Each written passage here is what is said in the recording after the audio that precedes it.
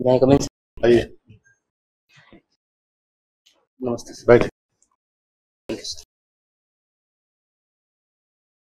आप अभी टीचर हैं? जी सर 2018 से। जी सर खूब टाइम हुआ। टीचर अच्छी अच्छा खासा जॉब है। आज क्यों बनना चाह रहे हो। जी सर सर प्रत्येक व्यक्ति अगर जीवन में आगे बढ़ने का मौका मिलता है तो वो आगे बढ़ने का प्रयास करता है और मुझे भी एक ये मौका मिला है और मैं इस राजस्थान की जो प्रीमियम सेवा है उसमें आगे बढ़ना चाहता हूँ।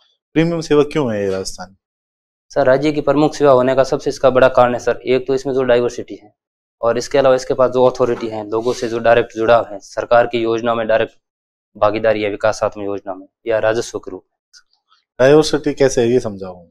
जी सर। सर जैसे कि एक एस है वो राजस्व अधिकारी रूप में कार्य कर सकता है विकासात्मक अधिकारी के रूप में कार्य कर सकता है प्रोटोकॉल अधिकारी के रूप में कार्य कर सकता है आपदा प्रबंधन अधिकारी के रूप में कार्य कर सकता है तो इस रूप में देखा जा सकता है सर। ये सभी काम आपने बता दिए एसडीएम के? नहीं सर सभी तो दो से यार अभी मुझे याद नहीं है तो सेवा जाने के बाद ही पता पड़ेगा सर। अच्छा। चलिए आपने बीएड किया जयनारायण व्यास यूनिवर्सिटी से। जी सर। क्या योगदान था जयनारायण व्यास का? जी सर।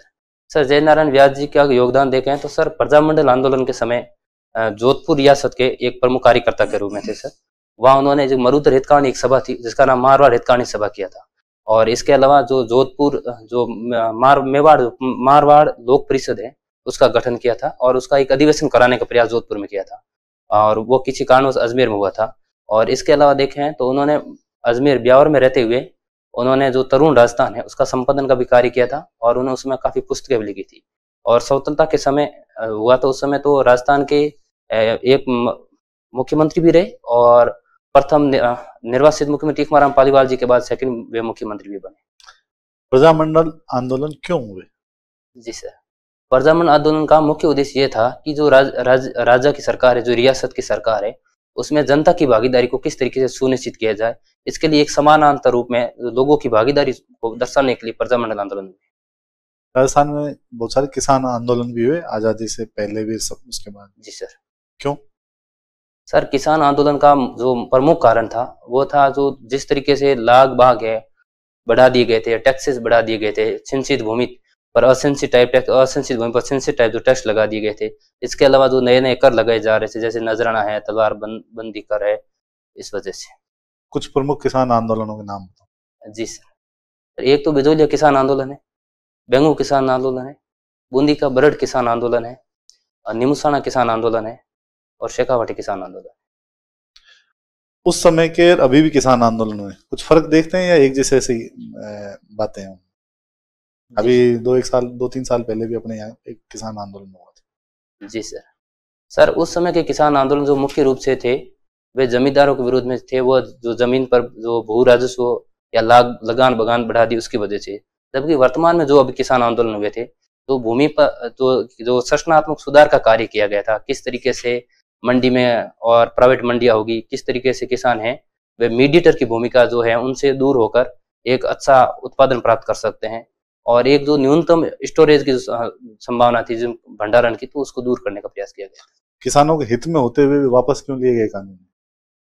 सर इसका प्रमुख कारण मेरे हिसाब से ये है कि सर जो सरकार थी वो किसानों से अगर डायरेक्ट वार्ता में कहीं न कहीं विफल रही होगी तो अगर सरकार सही तरीके से या मैकेनिज्म ऐसा कुछ होता और किसानों को अगर विश्वास में लेती और अन्य कोई स्टेक होल्डर थे उनसे बातचीत करती तो शायद एक अच्छा रास्ता निकलता।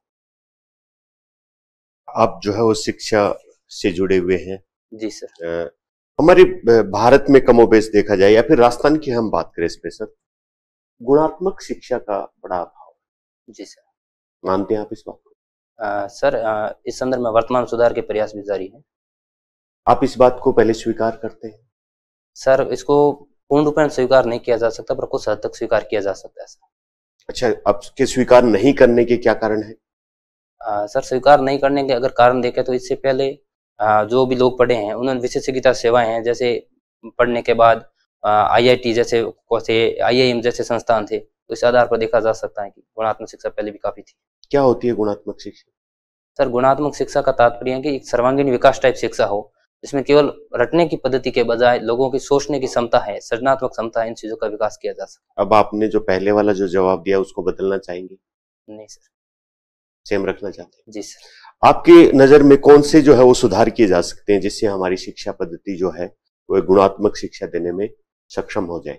जी सर। वर्तमान में सर एक तो सरकार के द्वारा जो फाउंडेशन न्यूमरेसी और लिटरेसी एक प्रोग्राम चल रहा है जिससे बच्चों में रटने की बजाय दक्षता आधारित पाठ्यक्रम तैयार किया जा रहा है। ठीक है। और दूसरे स्तर पर देखें सर जिस तरीके से व्यावसायिक शिक्षा का प्रावधान किया जा रहा है तो उसको देखा जा सकता है। सर तीसरा जो सरकार जो स्टीम को तोड़ने के तोड़ा है और जो कला का और विज्ञान का जो संयोजन बच्चे कर सकते हैं तो उसमें मानविकी का भी विकास होगा और साथ साथ साइंटिफिक अप्रोच का विकास होता है तो इस संदर्भ में देखा जा सकता है। अच्छा आजकल ये एक शब्द बहुत चल रहा है एआई जी सर। क्या नाम होता है इसका? सर आर्टिफिशियल इंटेलिजेंस शिक्षा में कैसे हमारा सहयोग कर सकता है? क्या वो संभावित क्षेत्र है जहाँ पर एआई का उपयोग करके हम अपनी शिक्षा को गुणवत्तापूर्वक बना सकते हैं। जी सर।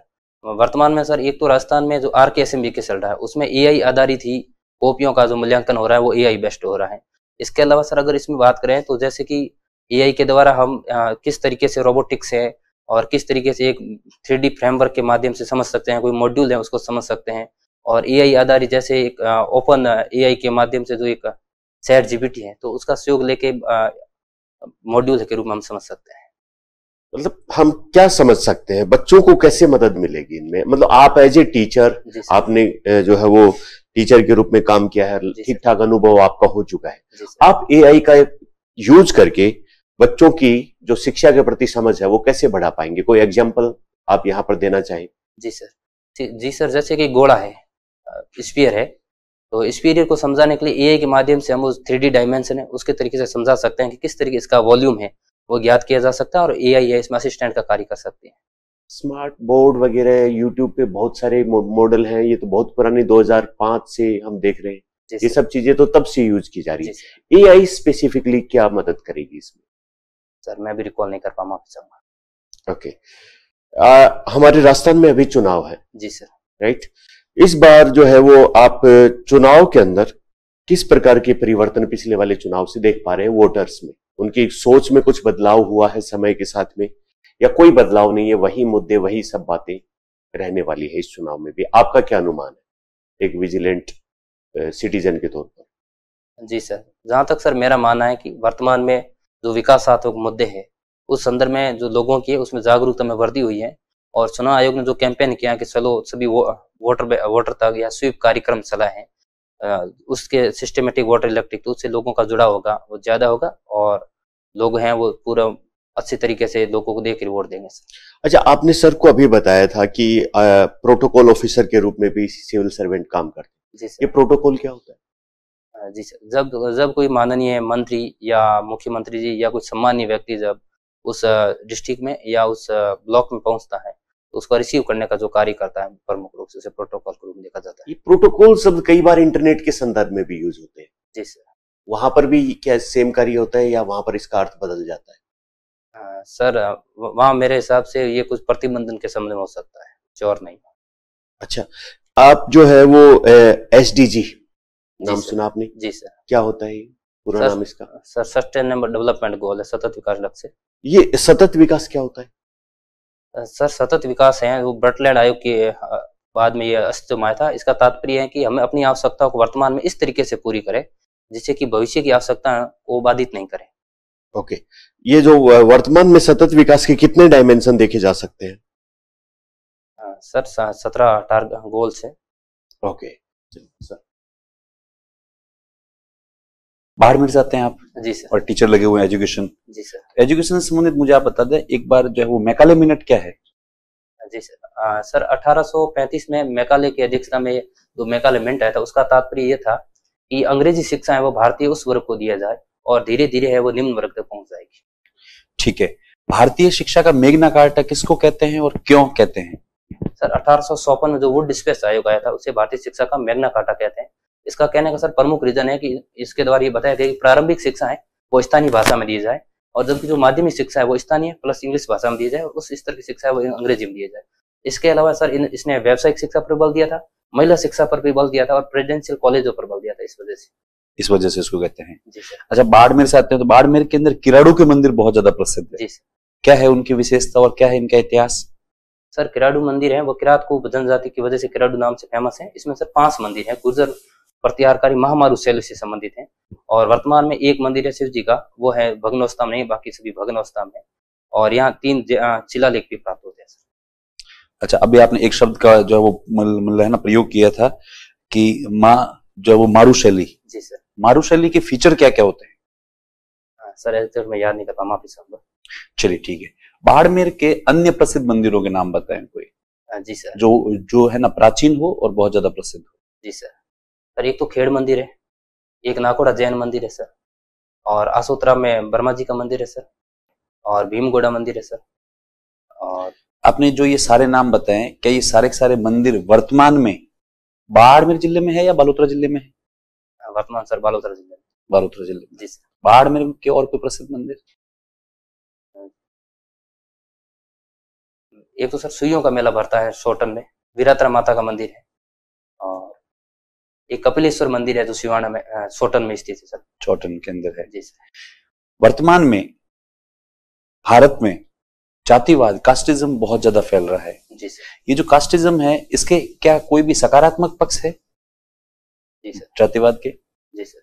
सर जातिवाद के ज़्यादा सकारात्मक पक्ष तो नहीं परंतु अगर इसका अगर प्रेशर ग्रुप के रूप में देखा जाए तो अपनी कुछ बातें हैं जो लीगली हो और आ, आ, अपना जो प्रोत्साहन करना चाहे अपनी प्रगति करना चाहे तो उस संदर्भ में ये प्रेशर ग्रुप में कार्य कर सकते हैं और अपनी बातें मना सकते हैं।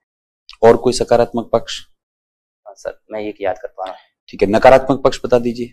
सर नकारात्मक पक्ष तो ये है कि जातिवाद से जो जाति का जो वैमनस्य है वो बढ़ जाएगा। तो उसमें जो, जो भेदभाव है या अस्पृश्यता जैसी चीज़ें वापस समाज में कहीं इंट्रोड्यूस नहीं हो जाए तो इस चीज़ों संदर्भ में देखा जा सकता अच्छा एक व्यक्ति में है कौन कौन सी कमियाँ नहीं होनी चाहिए आपके अनुसार? सर, एक व्यक्ति है, वह सत्यनिष्ठ हमेशा होना चाहिए।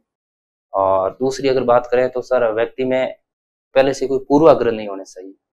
और तीसरी सर बात देखें तो व्यक्ति है, वो हमेशा एक तटस्थ विचारधारा रख सके। और चौथी बात करें तो सर वस्तुनिष्ठता होनी चाहिए, उसमें सब्जेक्ट सब्जेक्ट निष्ठ नहीं होनी चाहिए सर।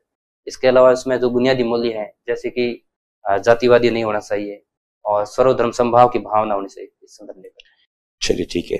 अभी आप सर से बात कर रहे थे तो आपने एसडीएम की बात की थी तो एसडीएम और एसडीओ जी सर। के कार्य क्या क्या होते हैं? सर एसडीओ है वो एक विकास अधिकारी के रूप में भूमिका निभाता है। जबकि जब एसडीओ लॉ एंड ऑर्डर की भूमिका निभाता है सीआरपीसी की धारा 144 है या 129 से 132 है या जो दहेज के संदर्भ में जब किसी की मृत्यु हो जाती है तो अंतिम समय जो जानकारी ली जाए पोस्टमार्टम पर उस संदर्भ में एसडीएम रूप में कार्य करता है और बाकी एसडीओ के रूप में कार्य करता है। चलिए मेरा आपसे अंतिम प्रश्न है जी सर। कि हमारे नेशनल मूवमेंट के अंदर जी सर। ऐसे कौन से फ्रीडम फाइटर थे जिनका संबंध सोडियम क्लोराइड से है? सर एक तो महात्मा गांधी जी जब डांडी यात्रा की सी राजगोपाल सारी है।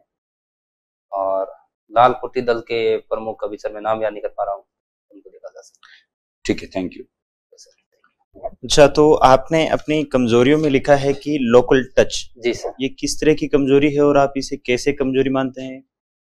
आ, सर जब मैं वार्तालाप करता हूँ तो जैसे मैं अभी हिंदी में बात कर रहा हूँ तो कहीं ना कहीं मेरा जो उस क्षेत्रीय भाषा का प्रभाव है वो नज़र आता है। अच्छा तो संप्रेषण में लोकल टच उसे आप मानते हैं? जी सर। ठीक।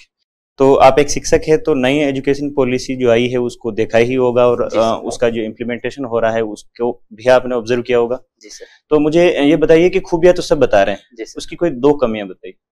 जी सर। सर एक जो नई शिक्षा नीति में सिक्स परसेंट जीडीपी की खर्च करने की बात की गई। ठीक है। तो वो किस मैनर में होगी या किस फ़ेज़ आउट मैनर होगी वो एक कमी के रूप में देखा जा सकता है दूसरा जब आपने स्टीम को विकसित किया है तो विद्यालयों में जो बच्चे जाएँगे तो वहाँ थर्टी फाइव जो सब्जेक्ट के आसपास सब्जेक्ट बन रहे वो सभी किस आधार पर एक स्कूल में होंगे या अलग स्कूल में होंगे तो उसका भी निर्धारण करना है। तो वो वर्गीकरण ठीक नहीं है? सर वर्गीकरण तो ठीक होगा पर सरकार को इस संदर्भ में अगर कोई उचित कमेटी बनाकर या स्पष्ट क्लियरिफिकेशन देने की ज़रूरत है। अच्छा और त्रिभाषा फॉर्मूले को लेकर भी कोई विवाद है उसमें? सर त्रिभाषा फॉर्मूले को लेकर जो उत्तर और दक्षिण के बीच में जो विवाद है सर वही तृतीय श्रेणी अध्यापकों का ट्रांसफ़र एक बड़ा राजनीतिक मुद्दा है राजस्थान में। जी सर। तो क्या लगता है आपको किस तरह की जो है ट्रांसफ़र पॉलिसी होनी चाहिए या होना भी चाहिए या नहीं होना चाहिए? शिक्षकों के स्थानांतरण के ऊपर क्या राय है आपकी? सर मेरे हिसाब से एक स्पष्ट पॉलिसी हो और उसमें कम से कम एक क्राइटेरिया हो कि पाँच वर्ष की सेवा है या दस वर्ष की सेवा है उसके बाद ही हो जिससे कि जो पुरानी स्कूल है जिस जहाँ से छोड़कर जैसे बॉर्डर एरिया के स्कूल है तो वे अगर सभी खाली हो जाती है तो बच्चों के पढ़ने के लिए समस्या आएगी। इस संदर्भ में देखा जा सकता है। दूसरा सर उस शिक्षक की प्रगति देखे जाए कि पांचवी है आठवीं है या उसका रिज़ल्ट किस हिसाब से रहा है। और फिर तीसरा ये शामिल किया जा सकता है कि जो है उसका या कोई इंटरेस्ट टेस्ट ले लें या ऐसा कुछ किया जा सकता है। ठीक है। और चुनाव में ड्यूटी को लेकर शिक्षकों का एक विरोध का नज़रिया रहता है कि ज़्यादातर शिक्षकों को ही उसमें लगाया जाता है। मान लीजिए आप एसडीएम डी जी सर और चूँकि आप शिक्षक रहे हुए हैं तो आपकी एक सहानुभूति भी उसके प्रति है कि भाई मैं चुनाव में उनका उनकी बजाय दूसरे डिपार्टमेंट से लेना चाहूँगा। और ऐसे में चुनाव जो है वो लोकतंत्र में प्रशासनिक अधिकारी में आपका पहला और सबसे बड़ी प्राथमिकता है। तो क्या उपाय है शिक्षकों के अलावा चुनाव संपन्न कराने का? और कैसे करेंगे आप? जी सर। तो सर राजस्थान में या कहीं भारत में देखें तो शिक्षक हैं वो सबसे ज़्यादा कर्मचारी के रूप में है। और शिक्षकों का हमेशा ग्राउंड लेवल से जुड़ा हुआ है तो लोगों से सीधा जुड़ा हुआ है तो लोगों को वो गाइड कर सकते हैं किस तरीके से वोटिंग करनी है। तो उस हिसाब से मैं शिक्षकों को मनाने का ही प्रयास करूँगा या उनको समझाने का प्रयास करूँगा कि आपका ये ड्यूटी बनती है और इससे इतना कोई ज़्यादा डिस्टिमेशन भी नहीं है कि साल में दो या तीन दिन वो भी पाँच साल में कभी कभार मेरे हिसाब से भी ठीक है लोकल गेम्स आपकी हॉबी है? जी सर बताएँ उनके बारे में। सर एक जैसे कि वहाँ हमारे वहाँ नाहर बकरी गेम खेला जाता है सर वो खेलता हूँ। एक सर भर है और एक थो थप्पो गेम ये खेला जाता है। एक खो खो भी खेला जाता है लोकल लेवल में। सर प्रशासनिक सिस्टम में भी इस खो को यूज़ किया जाता है। जी सर किस सेंस में यूज़ किया जाता है? सर मैं ऐसा से याद नहीं कर पा रहा हूँ सर चलिए थैंक यू ओके सर